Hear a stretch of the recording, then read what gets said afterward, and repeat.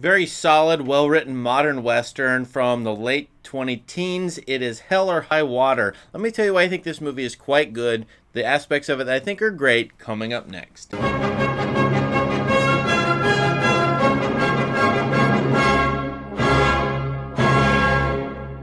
High Water, you might see it in a DVD or Blu-ray bin in Walmart or store and find it cheaply, but this is quite, I think, a good movie. Directed by David Mackenzie, written by Taylor Sheridan, who went on to become a director and writer for other things. And it stars a number of good actors, Chris Pine and Ben Foster. Here they play brothers who are bank robbers, the Howard brothers, Toby and Tanner.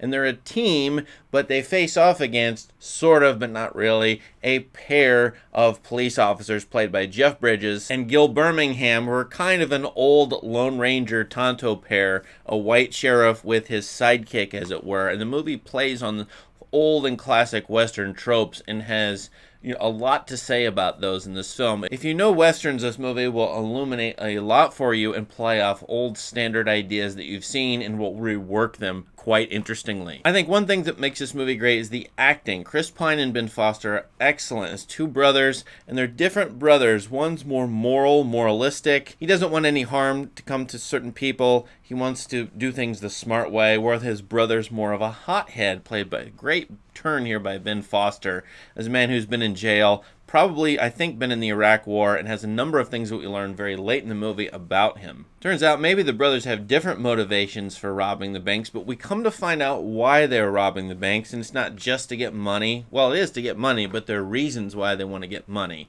And so maybe we end up sympathizing them with, with them a little bit in this movie. This is a classic bandit or sort of Bonnie and Clyde, a pair of people robbing other people or robbing banks a classic American story, as it were, with the cops or the law chasing after them. In this case, the cops, the law, played by Jeff Bridges and Gil Birmingham, are quite good as well, and they are old, and I think that's very significant in this movie. The young males, the younger males in this movie, not that they're that young, but they're middle aged, are the bank robbers, where these the old generation are the ones trying to stop them. That is the thing you see in, for example, the Coen brothers' No Country for Old Men from eight years prior to this. In fact, this movie is in conversation with a number of modern movies. The opening shot deliberately quotes The Dark Knight, a, a movie that begins with a high stakes, exciting bank robbery of, with masked men going into a bank and trying to get its money. This movie has that, only has a number of slip ups, and the movie states that it's clearly very realistic as opposed to more sensationalistic superhero fare of The Dark Knight with its opening scene. The movie, as well, is quoting the Coen brothers. For example, using Jeff Bridges playing a marble mouthed sheriff character in True Grit, which he played uh, six years before this movie, he was the marshal law and order character, but with an edge and that was the Rooster Cogburn character. Here, he's doing a version of that, but I, actually, that's a trick because I think he's a much smarter, wiser character in this particular film, although he sounds a lot like Rooster Cogburn.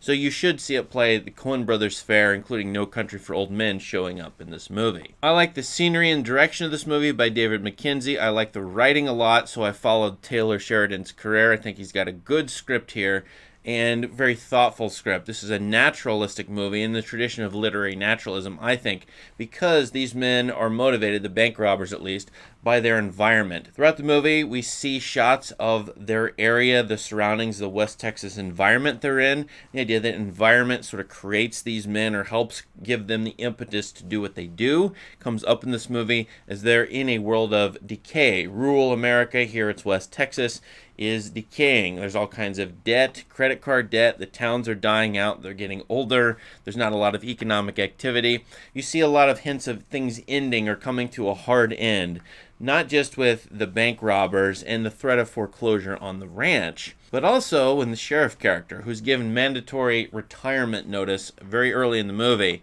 and so he his life is going to come to an end as a sheriff figure. He's teased about that throughout the movie, but it is looming. The end of all things, the end of you know American wealth and prosperity perhaps is here.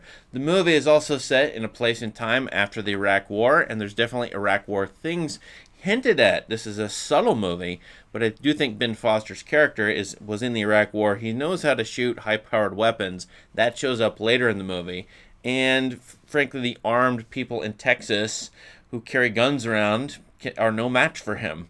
So he is interestingly self styles as a Comanche, as an old time Indian. Speaking of things that come to an end, the reign of natives, Native Americans, or Indians in the land being taken over 150 years ago by the white settlers. That comes up throughout this entire movie.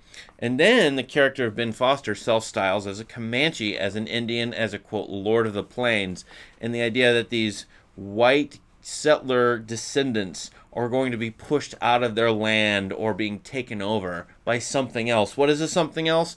Giant corporations and banks in particular. Maybe the big bad guy of this movie, after all, the banks. So, in a way, it's like a classic 1930s movie uh, or 1940s movie. Think of It's a Wonderful Life, where the banks are the bad guys.